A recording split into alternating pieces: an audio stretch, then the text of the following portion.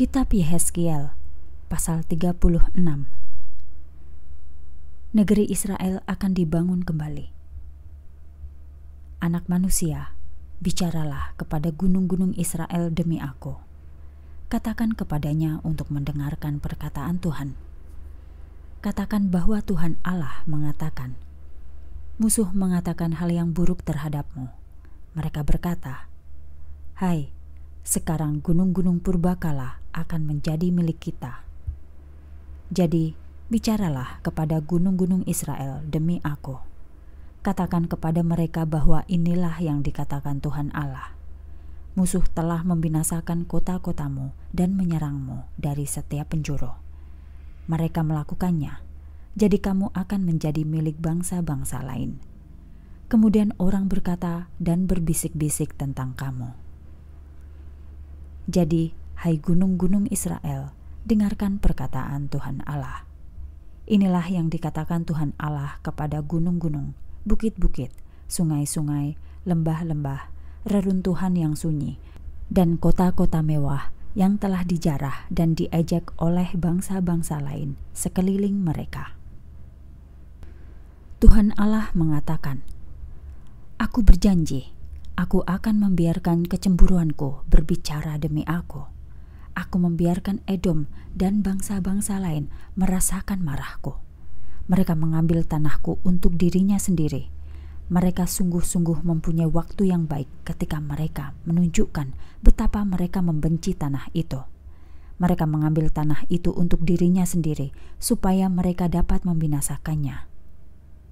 Jadi, katakanlah hal ini tentang tanah Israel bicaralah kepada gunung-gunung, bukit-bukit, alur-alur sungai, dan kepada lembah-lembah. Katakan kepada mereka yang dikatakan Tuhan. Tuhan Allah mengatakan, Aku akan membiarkan kecemburuan dan marahku berbicara demi aku, karena kamu telah menderita hinaan dari bangsa-bangsa itu. Jadi, inilah yang dikatakan Tuhan Allah. Akulah satu-satunya yang membuat perjanjian Aku berjanji bahwa bangsa-bangsa sekelilingmu harus menderita atas hinaannya. Gunung-gunung Israel, kamu akan menumbuhkan pohon-pohon baru dan menghasilkan buah untuk umatku Israel. Umatku akan segera kembali. Aku bersama kamu, aku akan menolong kamu. Orang akan menanami tanahmu, mereka menanam benih di atasmu banyak orang akan tinggal padamu. Seluruh keluarga Israel, semua mereka tinggal di sana. Kota-kota akan didiami orang. Tempat-tempat yang telah binasa dibangun kembali seperti yang baru. Aku memberikan banyak orang dan binatang kepadamu, dan mereka berkembang dan mempunyai banyak anak. Aku akan membawa orang untuk tinggal bersamamu seperti pada masa lalu aku membuatnya lebih baik untukmu daripada sebelumnya, supaya kamu tahu bahwa akulah Tuhan. Ya, aku akan membawa banyak orang, umatku Israel, ke tanahmu. Kamu menjadi harta miliknya, dan kamu tidak mengambil anak-anaknya lagi. Inilah yang dikatakan Tuhan Allah. Hai tanah Israel, orang mengatakan hal yang buruk kepadamu, mereka berkata bahwa kamu membinasakan umatmu. Mereka berkata bahwa kamu membawa anak-anak keluar dari umatmu. Tetapi kamu tidak akan membinasakan orang lagi. Engkau tidak mengambil anak-anaknya lagi. Demikianlah firman Tuhan Allah. Aku tidak membiarkan bangsa-bangsa lain menyiksamu lagi. Kamu tidak disiksanya lagi kamu tidak mengambil anak-anak keluar dari umatmu lagi. Demikianlah firman Tuhan Allah. Tuhan melindungi namanya. Kemudian perkataan Tuhan datang kepadaku. Katanya, Anak manusia, keluarga Israel tinggal di negerinya sendiri, tetapi mereka telah membuat negeri itu keji melalui kejahatan yang dilakukannya Bagiku, mereka seperti perempuan yang najis karena datang bulannya. Mereka memercikkan darah ke atas tanah ketika mereka membunuh orang di tanah itu. Mereka membuat negeri itu najis dengan berhalanya. Jadi, aku menunjukkan kepada mereka betapa marahnya aku. Aku menyerakkan mereka ke tengah-tengah bangsa-bangsa dan ke seluruh negeri itu. Aku memberikan hukuman kepada mereka atas hal-hal yang jahat yang dilakukannya. Juga di tengah-tengah bangsa-bangsa lain, mereka merusakkan nama baikku. Mereka berkata, "Inilah umat Tuhan," tetapi mereka telah meninggalkan negerinya. Orang Israel merusak namaku yang kudus ke mana saja pun mereka pergi, dan aku merasa kasihan terhadap namaku. Jadi, katakan kepada keluarga Israel bahwa inilah yang dikatakan Tuhan Allahku. Hai keluarga Israel, kamu merusak namaku yang kudus di tempat-tempat kamu pergi. Aku akan melakukan sesuatu menghentikannya. Aku tidak melakukannya untuk kepentinganmu Israel aku melakukannya untuk namaku yang kudus.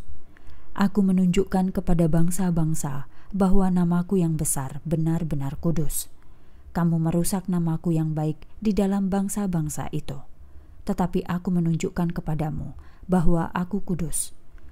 Aku akan membuatmu menghormati namaku, supaya bangsa-bangsa tahu bahwa akulah Tuhan. Demikianlah firman Tuhan Allah. Aku akan mengambilmu dari bangsa-bangsa itu, mengumpulkanmu, dan membawa kamu kembali ke negerimu sendiri. Kemudian aku memercikkan air bersih padamu dan membuatmu bersih. Aku akan membasuh semua kenajisanmu. Berhalamu yang kotor membuat kamu kotor, tetapi aku akan membuatmu bersih.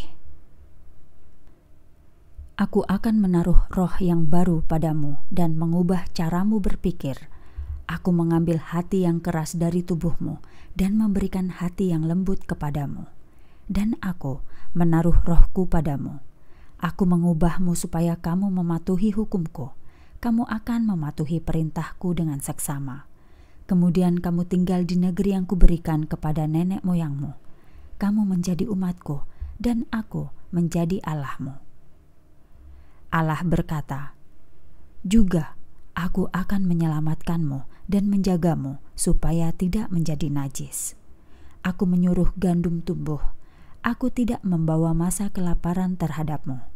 Aku memberikan tuayan besar dari pohon-pohonmu dan tuayan dari ladangmu, sehingga kamu tidak lagi malu karena kelaparan di negeri asing. Kamu akan mengingat kejahatan yang kamu lakukan. Kamu mengingat bahwa hal-hal itu tidak baik Kemudian kamu membenci dirimu sendiri karena dosa-dosamu dan hal yang mengerikan yang kamu lakukan. Tuhan Allah mengatakan, "Aku mau kamu mengingat ini. Aku tidak melakukan hal itu demi kebaikanmu." Hai keluarga Israel, malulah tentang cara hidupmu. Inilah yang dikatakan Tuhan Allah. Pada hari itu aku membasuh dosa-dosamu aku akan membawa orang kembali ke kota-kotamu. Kota-kota yang telah runtuh akan dibangun kembali. Orang mulai lagi mengerjakan tanah itu, sehingga apabila orang lain melintasinya, tidak akan melihat runtuhan itu lagi. Mereka akan mengatakan, "Pada masa lalu, tanah itu reruntuhan, tetapi sekarang seperti Taman Eden." Kota-kota telah binasa, menjadi reruntuhan dan sunyi, tetapi sekarang telah dijaga, dan ada orang yang tinggal di sana. Dengan demikian, bangsa-bangsa yang masih ada di sekelilingmu tahu bahwa Akulah Tuhan, dan Aku membangun tempat-tempat reruntuhan itu kembali. Aku menanami tanah-tanah sunyi. Akulah Tuhan. Aku mengatakan ini dan membuatnya terjadi Inilah yang dikatakan Tuhan Allah. Aku juga akan membiarkan keluarga Israel datang kepadaku dan meminta supaya aku melakukan hal itu bagi mereka. Aku membuatnya berkembang dan menjadi banyak. Mereka akan seperti kawanan domba. Selama perayaan-perayaan khusus Yerusalem telah dipenuhi kawanan domba dan kambing yang telah dikuduskan. Dengan cara yang sama, kota-kota dan tempat-tempat yang runtuh akan penuh dengan kumpulan orang, sehingga mereka tahu bahwa Akulah Tuhan.